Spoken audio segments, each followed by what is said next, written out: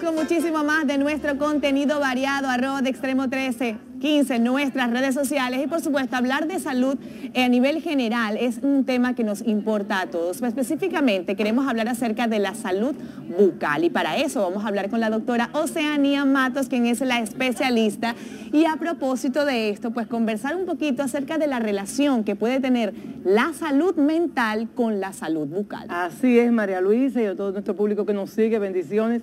Mire, hay una relación muy fuerte y lo vamos a ver de dos ámbitos. Como una persona que tiene su boca en mal estado se deprime. Correcto. Porque tiene su boca en mal estado. Y como la depresión te daña la boca. Mira, el porcentaje de personas, pacientes que llegan a mi consultorio con el término depresión, que a veces lo usan muy alegremente, es, sin mentirte y si te a equivocarme, un 80% especialmente las mujeres que son las que más buscan servicio odontológico.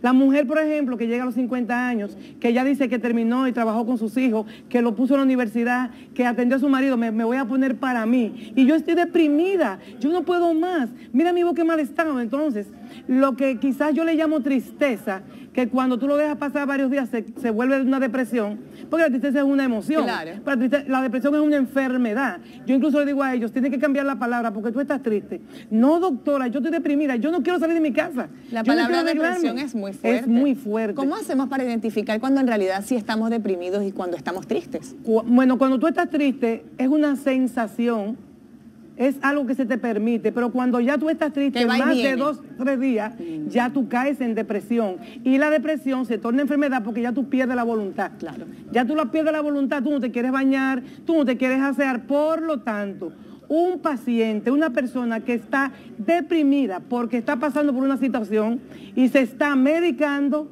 ese tipo de medicamento trae consecuencias en la boca. Le pone la boca seca, le pone la lengua alterada, le daña las encías, o sea, todo eso lo hace los medicamentos de la depresión. ¿Cómo hacemos entonces en ese caso para todas las personas que están clínicamente medicadas y debidamente medicadas para luchar con este tipo de condición, como las astas, la resequedad y que esto no afecte a nivel psicológico? Fíjate que tú hablas de afta y regularmente las aftas vienen porque tú estás estresada. El estrés te trae, o sea, te, te pone un pico un poquito muy alto, pero también de luego te baja. Entonces, una persona que está en el grado de depresión muchas veces no maneja, no puede manejar.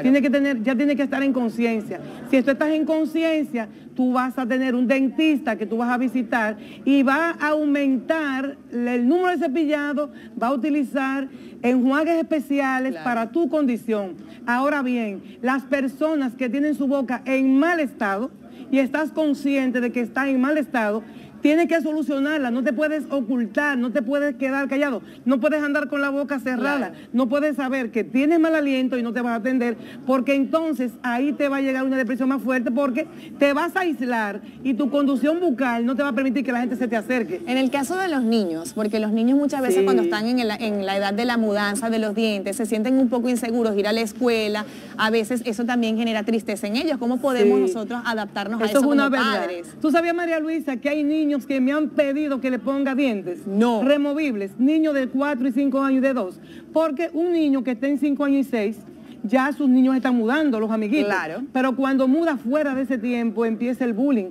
Entonces a esos niños, las madres, tienen que tomar en cuenta por un accidente, por caries, que tienen que reponer esos dientes, porque si no, van a tener ansiedad, se van a poner tristes y la depresión, como es una palabra fuerte para niños, pero pueden, pueden bajarle.